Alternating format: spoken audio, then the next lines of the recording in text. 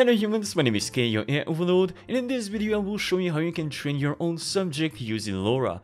Now, what is LoRa? Well, LoRa is a method of training your subject using your own images that is optimized for small graphics card. Meaning that compared to Dreambooth or textual inversion, you can train a subject with only 6 to 7 gigabytes of VRAM, which is a super good news for all of you who don't have a good GPU. Now basically LoRa is kinda like a love child between Dreambooth and textual inversion in the sense that it creates these small 100 megabytes file that you can use in the exact same way as textual inversion embeddings, meaning that they can be applied to any model. And the size of these embeddings usually range between 300 megabytes and 100 megabytes, which is definitely way less than a Dreambooth model. And of course, just like Dreambooth and textual inversion, you can train a style or a character. Absolutely anything you want.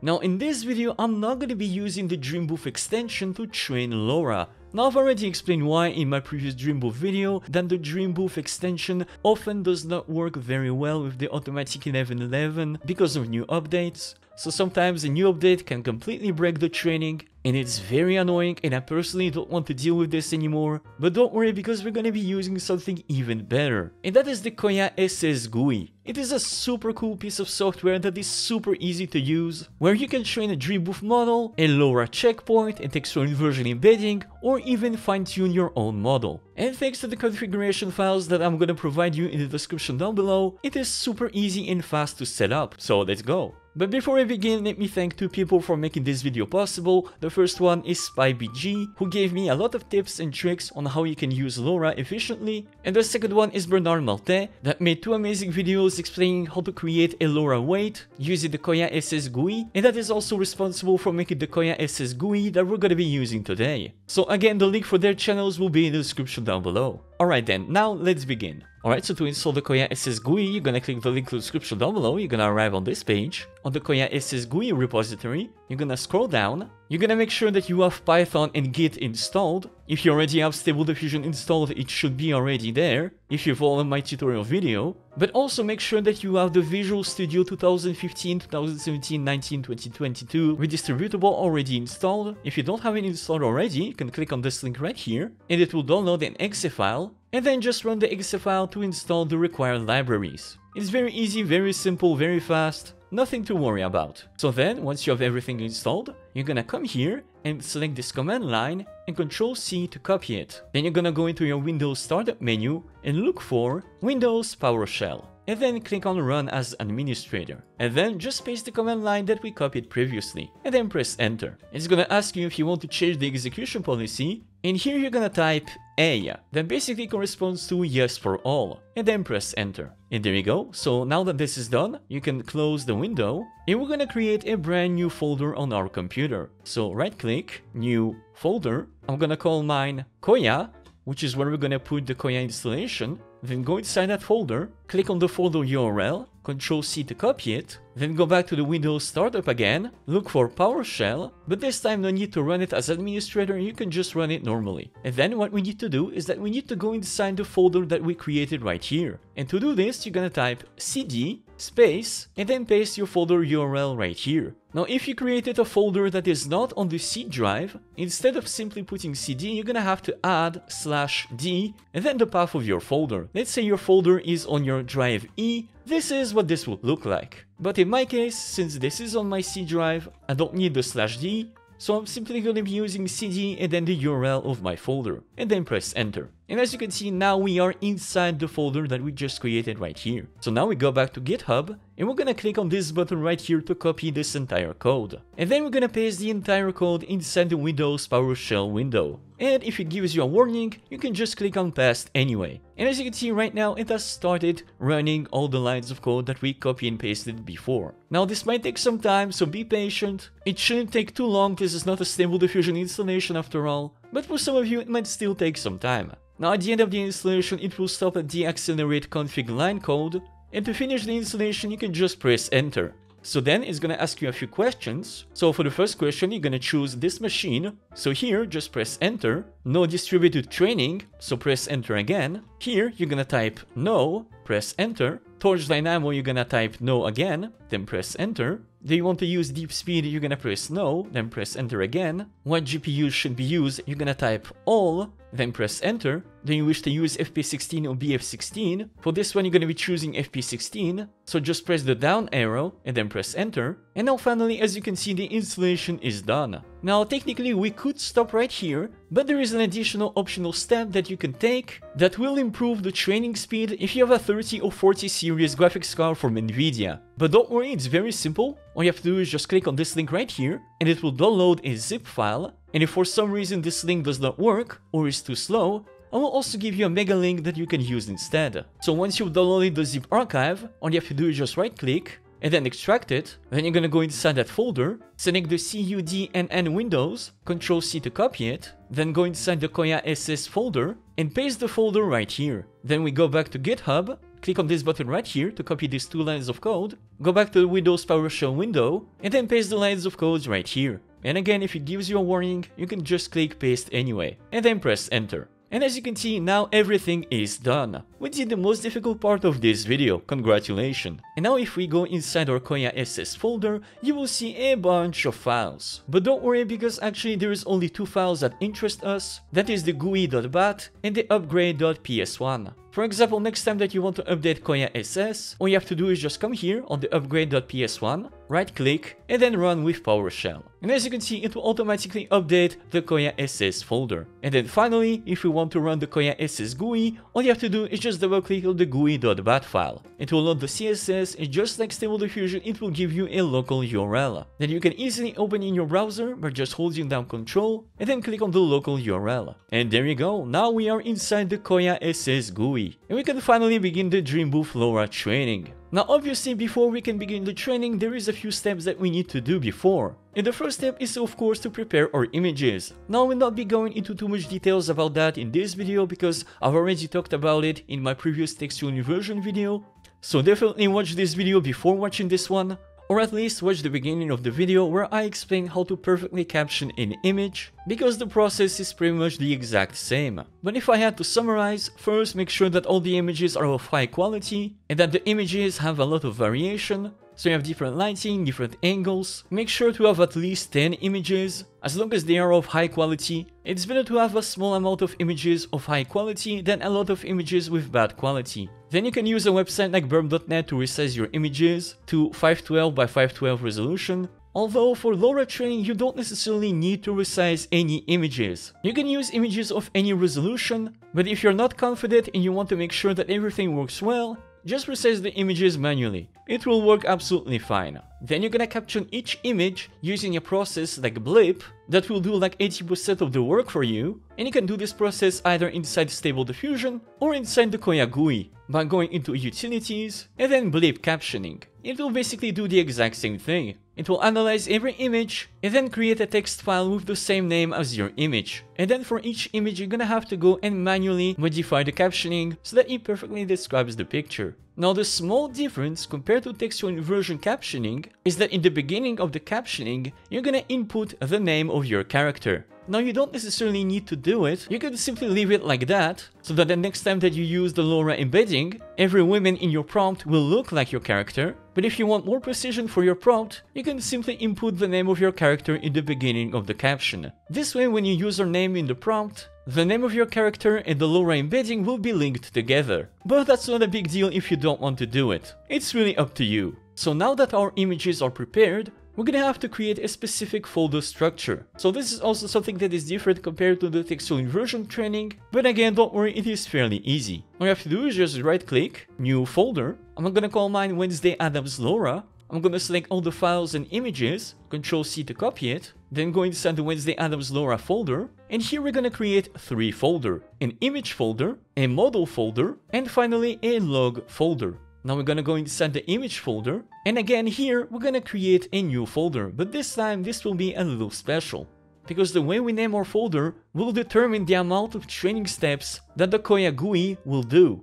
And this will depend on the amount of images that you have. So first you need to make sure that you do at least 100 steps per image with a final training steps of at least 1500. So for example, if you only have 10 images and you need at least 1500 steps of training, you're gonna take 1500 divided by the number of images that you have, and it's gonna give you 150. And this number is the amount of training steps per image that we need to input in the folder name. So for this, you're gonna right click, new folder, and you're gonna type 150 underscore and then the name of your character. So in my case, it's Wednesday Addams. Then you go inside that folder and you paste your images right here. So as I said previously, this number right here is what determines the amount of training steps per image that the LoRa training will do. So in this example, I'll only give you a number if you only had 10 images, but let's say you had 20 images, for example. Well, in that case, that would be 1500 divided by 20. It gives you 75.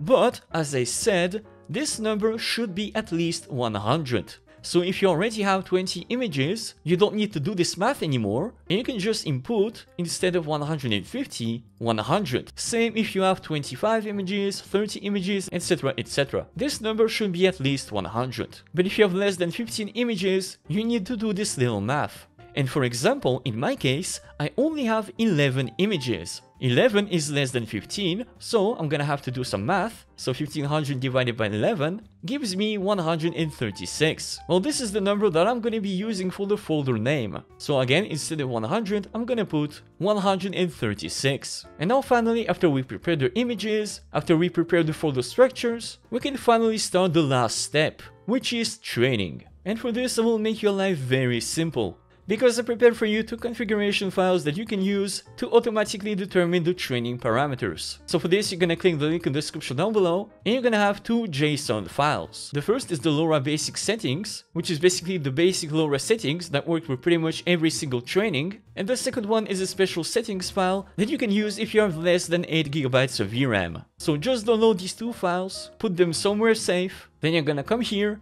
click on the configuration file button, click on open, and then choose one of these two files. So here I'm just gonna choose the LoRa basic settings file, and then click open. And if you click on training parameters, you can see that some of these options were already done for you. These are the most optimal settings that work for the LoRa training, and that you can use as is. So if you don't want to waste time, this is a super quick way to start a training, but I'm also gonna explain a few settings that you might want to modify depending on your training. Now first, before we begin, let's actually choose our base Stable Diffusion model. Basically, what Stable Diffusion model are you gonna be using to train a LoRa model? And here in the model quick pick, you have already a bunch of pre-selected models. The 1.4, the 1.5, the 2.0, 2.1, the 2.0 512 by 512, and the 2.1 512 by 512. And if you select one of these models, it will be automatically downloaded from GitHub. And also, depending on the model that you select, some options will be selected. So if you select, for example, the 1.5,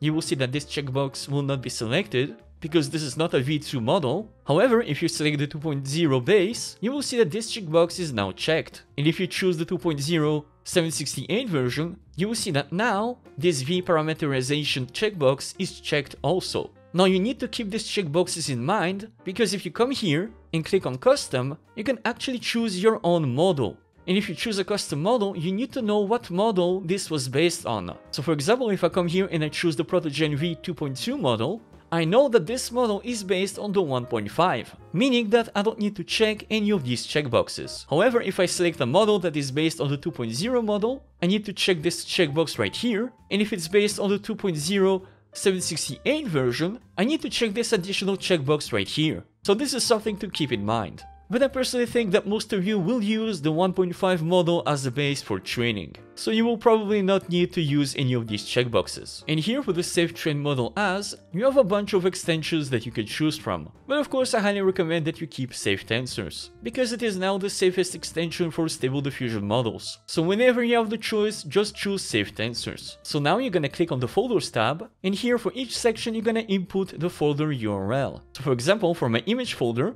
you're gonna click here, and as you remember, we created a brand new folder for that, and mine is inside Wednesday Addams LoRa folder, and this is the folder that we want to use. Do not go inside that folder, you need to select this image folder right here. So just click select folder. For the output folder, mine is in Wednesday Addams LoRa, and then select folder. And same thing with the login folder, Wednesday Addams LoRa, and then select folder. Now you can also choose a regularization folder where you have your regularization images, but for LoRa training you don't really need regularization images. Since you're gonna be training one subject anyway. So here you're gonna input the model output name. So in my case, I will put Wednesday Addams, Then click on the training parameters. And here you're gonna see a bunch of options. But as I said, since we have loaded the configuration file, you don't actually need to touch anything. If you want to start the training right now, all you have to do is just click on the train model button and you are done. But let's go through some of these training parameters anyway. So the train batch size is basically the amount of images that you're gonna train at one time. So the higher the number, the faster the training will be because you basically divided the amount of training steps by this number. But here's a little advice, if you don't have a lot of images, if you only have like 10 or 15 images, I highly suggest that you choose a batch size of 1. It actually improve a little bit the quality of the training. Sure, it might take longer, but the final result will be worth it. And of course, a higher batch size will also increase the amount of VRAM used for the training. So if you have a weak graphics card, I suggest that you put a batch size of 1. Otherwise, you just leave it at 2 by default. So when it comes to everything right here, you're gonna leave everything by default. The learning rate is really good. You don't really need to change anything. These basic settings basically work for every single training. So the max resolution, this is the resolution that you're gonna be training your images at. So if you only have 512 by 512 images, you're gonna leave it 512 by 512 by default. But if you can, and this is my advice, if you have a good GPU, instead of 512 by 512, try training this at 768 by 768. Yes, you will use way more VRAM, but if you have high quality images, your final model will look way better. Otherwise, if you have a weak GPU, just leave it at 512 by 512 by default. Also right here, the enable buckets, if you haven't cropped your images yourself, and you have images of different dimensions, and ratio, and resolutions, you should enable this option right here. This will make it so it can train images with different resolutions. Otherwise, if you just cropped it yourself, you can just disable this option right here. So again, here you can leave everything else by default, but if you have a weak GPU, I suggest that you enable memory efficient attention and gradient checkpointing.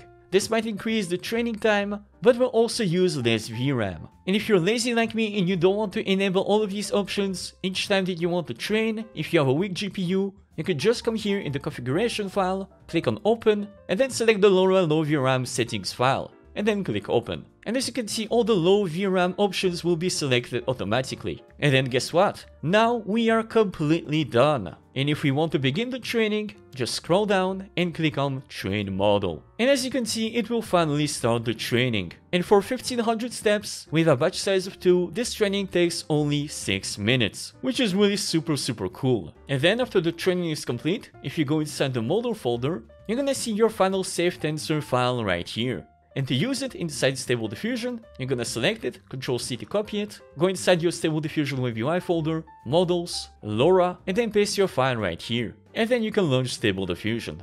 And now to be able to use the LoRa weight that we trained inside the Kohya GUI, we need to install a special extension. So for this, you're gonna click on Extensions, click on Available, Load From, then you're gonna scroll down and look for Kohya SS Additional Networks, and then click Install. Then you're gonna click on Installed, and then click Apply and Restart UI. And once you see the Additional Networks tab, that means that the extension was installed correctly. And then finally, to be able to use LoRa inside your prompt, you're gonna select your model, write your prompt, and then you're gonna click on this button right here to show the extra networks, and then choose LoRa. And as you can see right here, you have all the LoRa weight that we created previously. And if you want to use one of them inside your prompt, you can just click on it. And as you can see, this line will then appear inside your prompt. Then you can then select and put it in the beginning of your prompt. And the way it works is that this is the text that's gonna use to call out the LoRa weight called Wednesday Addams. And the number that you see right here is the weight of the model. So exactly as if you would select a prompt tag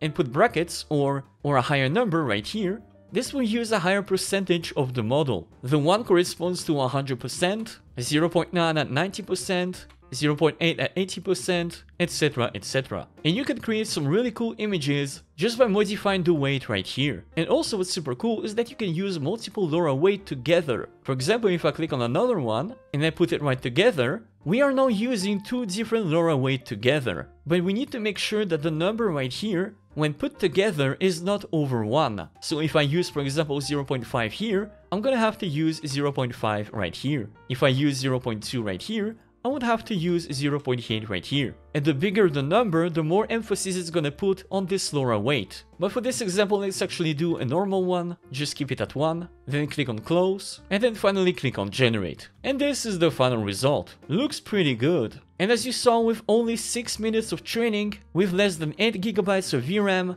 you can have results like this. And that's really super powerful. And as I said, if we keep for example the same seed, and if you want to decrease, for example, the weight of our model, if I put something like 0.8 and then click on generate, you're gonna have now a slightly different image. Maybe better, maybe worse, it kinda depends on what you're looking for. And as I showed you previously, you can easily mix it with another LoRa model. So if I take this one for example, which is trained on Thomas Shelby. If I put 60% of Wednesday Addams and 40% of Thomas Shelby using the same exact seed and I click on generate, it gives me this image. And as you can see, we are slowly starting to have a little bit more manly look and with brighter eyes. And that is because Thomas Shelby has blue eyes. So obviously you're gonna have his look influence into the image. And if we go even higher, you see that our character is starting to look more and more like Thomas Shelby and less like Wednesday Addams. But it's still super super cool, because you can definitely mix and match a lot of different LoRa weight to create very interesting looking images. And there you have it folks, now you can train any subject you want in only a few minutes with a very weak GPU. All of that thanks to LoRa. And there you go, thank you guys so much for watching, don't forget to subscribe and smash the like button for the YouTube algorithm, and I'll see you guys next time, bye bye.